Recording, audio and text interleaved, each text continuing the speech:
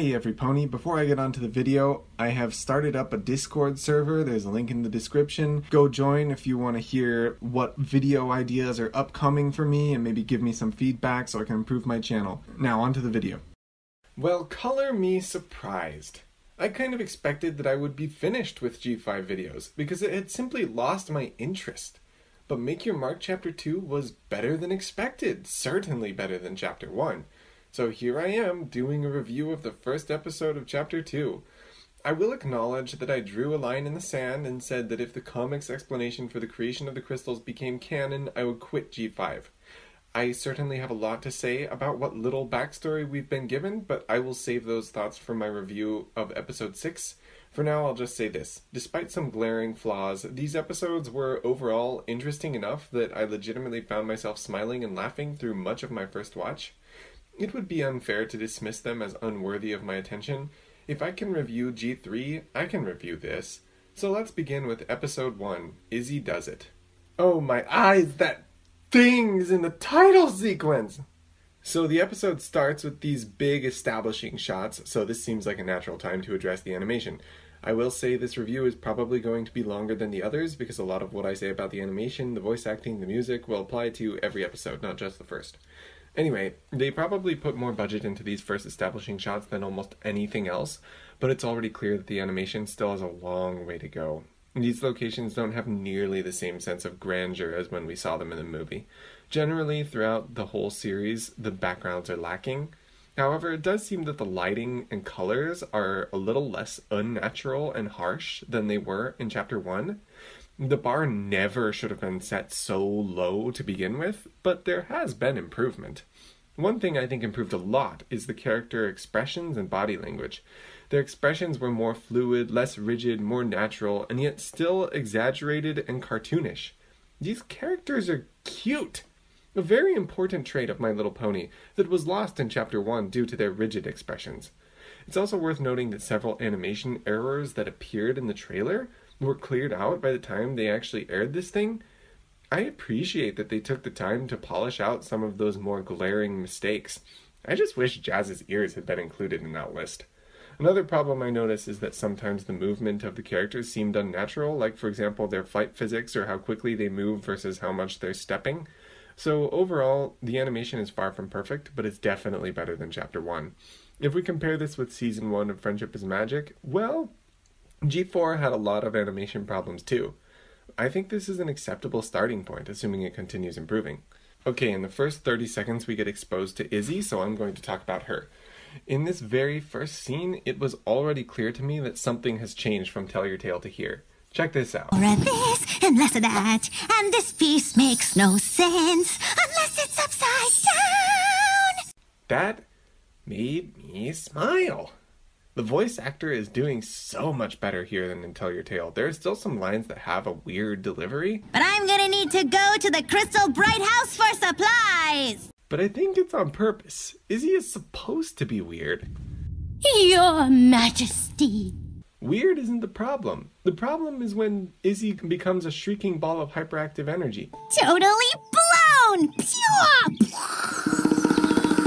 Izzy's problem in Tell Your Tale is that she's actually just Pinkie Pie. Do you see the difference between weird, odd, social misfit Izzy and Pinkie clone Izzy? I feel like Chapter 2 saw Izzy return to a portrayal similar to what she was in the movie. She's vastly improved compared with Tell Your Tale. In this episode in particular, I like how she's portrayed because they emphasize so much that she's never had friends before and she's so excited to finally celebrate a friend's birthday. Happy birthday, friend! Oh, are so fun to say. It's sweet. Okay, next thing I want to talk about is the instrumental score for the series.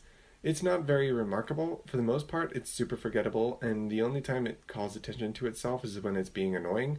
Mostly I'm talking about their little detective beat they play whenever Zipp's on screen. Remember, kids, she's a detective! Yeah, more about that later. The instrumental score falls flat. Okay, next thing is the intro. I've talked about this song before. Basically, I like it, and my biggest hesitation was that they don't use the iconic My Little Pony theme. But since they use the little musical cue in every episode, I think I'll let it slide. And as other fans have noted, The intro is extremely well animated. They really worked to make this thing look nice. So here's another thing I'll address right now because it shows up in every episode. I hate Sparky. He looks so uncanny, and even if he didn't, he's not entertaining and he gets a lot of screen time. This is a painful reminder that we're watching a children's show designed to entertain two year olds and sell toys. I have nothing more to say about him. So, one thing that confused me about this episode initially was why Izzy felt pressured to make every pony mane accessories. It was a gift for a friend on her birthday, right? I finally decided that this must be her job. It's something I had kind of assumed from the beginning. She must have some source of income, so she probably sells her crafts. And that was implied by the end of the episode. But I wish they had showed her actually selling crafts to ponies so it was more clear earlier on. Oh, they're addressing the glowing cutie marks thing. That's good. It was weird how long that went ignored. So we get to the song that was released earlier. I like this song. It does sound similar to Pipp's previous songs, but at least they acknowledge that. And hey, I think they have a long way to go before I get tired of Pipp. Early G4 songs sounded at least as samey as her music does, and that went on for several seasons before they started varying it more. One thing I noticed is that every song in Make Your Mark is an in world song. The characters always acknowledge that they're singing. It's never just some character singing about their feelings. And actually, I'm okay with this. The songs sound good, there's not too few of them, and they're used in the right places. It's kind of an odd strategy to go with, considering that in Tell Your Tale and A New Generation they do have proper musical numbers, but I think they're making it work. Here's another thing I need to address now because it shows up in every episode. I'll give more detailed thoughts on Misty as a character later, but for now I'll say this. Misty and particularly Opaline are overused. I didn't feel that they were very relevant for most of the chapter. Opaline just sends Misty off to infiltrate or cause general mayhem, and there doesn't seem to be much of a plan most of the time. And I think it's always risky for a show to reveal its big bad too early because that usually requires them to fail in some of their early objectives, and that reduces their threat level. Opaline just doesn't seem all that dangerous anymore. I also don't like her interactions with Misty. Based off the trailer, I thought the relationship was going to be a little more positive, that they were going to have some funny, light-hearted moments and share some laughs together. But pretty consistently, Opaline is putting down Misty in a way that's manipulative and maybe abusive. There's no positive relationship here, which ultimately will make it less impactful when Misty inevitably turns on her because it won't be Yes, you were kind to me and you rescued me as a filly, but what you're doing is wrong, and if you don't stop, I can't help you anymore. Now it'll just be, you were mean to me. I'm, it doesn't even matter what the cause is. I don't like you and I don't want to be with you anymore. This is a weaker narrative, and they take up a lot of screen time without getting much done and mostly covering the same few notes.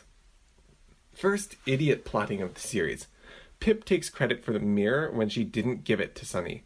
She had no reason to do this, and if she hadn't, maybe Sunny would have been more suspicious of the mirror and episode 4 would have gone differently.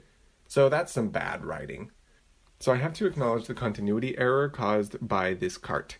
In Tell Your Tale, Izzy already had the cart by the time she was making the lantern before Maretime Bay Day, but in Make Your Mark, she doesn't make the cart until after the lantern. This is a paradox, and I am now declaring Tell Your Tale to be non canon to Make Your Mark. Events in Tell Your Tale do get referenced in Make Your Mark, but they're wrong. There have been a lot of signs that there's basically no coordination between the crews of Tell Your Tale and Make Your Mark, and this confirms it. This kind of takes a burden off my shoulders, knowing that I can dismiss Tell Your Tale's nonsense, say the glitter canon, as non canon. It is sloppy and lazy and generally annoying, because in several cases it feels like you're supposed to have watched Tell Your Tale to get what's going on and make your mark. On this point, it looks like they are never going to explain or reference the blanket from the Star Scout code, which officially makes that the worst Tell Your Tale episode thus far. You can't drop something that big and never explain it. On the one hoof, it's stupid that they can't maintain basic internal consistency. But on the other hoof, it's nice to know that I can just throw out Tell Your Tale. None of the stupid stuff that happens in this show is actually real in Make Your Mark. So there are kind of two conflicts in this episode. The main one is Izzy's creative block. I think the resolution to this conflict is pretty good. Izzy unicycles to make a new toy, and that helps her work more efficiently. The other conflict is Pipp's creative block. I like the idea. From the start, Pipp has been a hugely talented and successful pony who was born with everything going her way.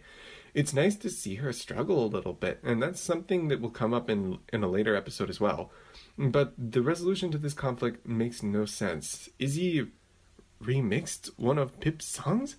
Since when was Izzy a musician? And even if Pipp posts this and it's a hit, this doesn't solve the problem that she's having creative block. She didn't make this. It seems they just ran out of time in this case, probably because they used so much time on Sparky, Misty, and Opaline. I will say I like the remix. I hope to hear a longer version someday. The last thing I want to talk about is the message this episode seems to be aiming for. Pipp gives Izzy the sort of advice we'd expect from Hasbro or Disney. Just copy what you've done previously. Is one of the biggest things fans have been complaining about with G5, so it's kind of meta of Hasbro to include this message at all. And Pipp's advice does not work for Izzy. In the end, Izzy has to reject the shackles of rehashing and go for a more creative solution. Is this G5 criticizing itself? That's gutsy! I like it! But that gets undermined by Pipp's side of the story. She's unable to use fan feedback and remixing to create something new, and yet that's exactly what Izzy does for her. So, any attempt to parse out a coherent message for this episode is undermined by the illogical resolution to Pipp's conflict. Too bad, could have been great. So, what are my overall thoughts on this episode? I've talked a lot about the quality of the show as a whole, and there are pluses and minuses. The animation is better, but it could still improve, and the instrumental score is bland. The songs are generally pretty good. Sparky is horrifying. Opaline isn't right, and Izzy is much improved compared with Tell Your Tale. Overall, despite some flaws, I'd say Make Your Mark is now a much better show than Tell Your Tale. As for this particular episode, I think it did a good job of portraying Izzy and giving her a suitable conflict with a nice resolution, but the resolution of Pipp's conflict was just not right. I'll give this episode a 6 out of 10. Peace out.